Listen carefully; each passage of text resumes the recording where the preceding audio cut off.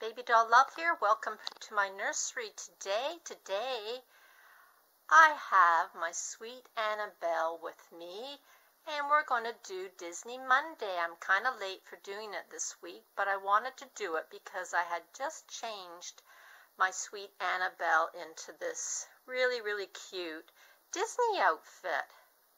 Now we got this Disney outfit from Sweet Auntie Miriam just before Christmas and it's a Carter's outfit and it's a knit dress and it's got sparkly gray, black, and um, pink polka dots, and then there's little Minnie Mouses all over it.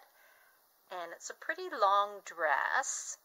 And then it came with this sweet uh, little fleece vest.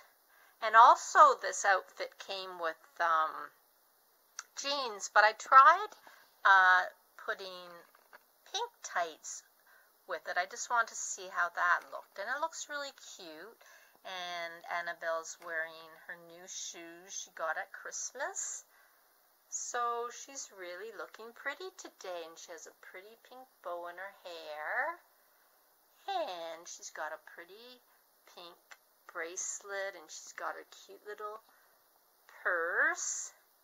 And she's sitting on the scooter today, having lots of fun. And she's surrounded by Minnie Mouse.